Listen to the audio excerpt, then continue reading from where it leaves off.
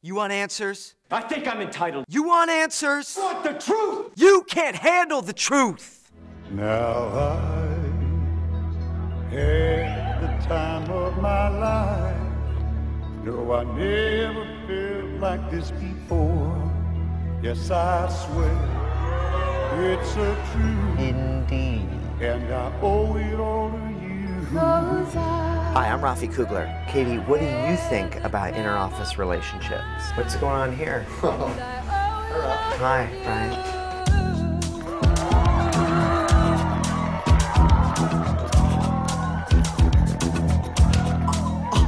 I've been waiting for so long. Now I finally found someone to stand by me.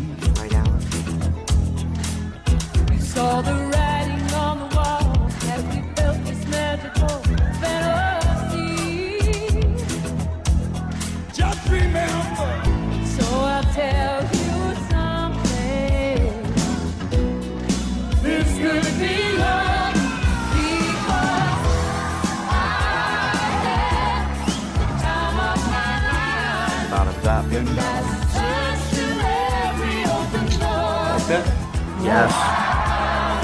That was a good I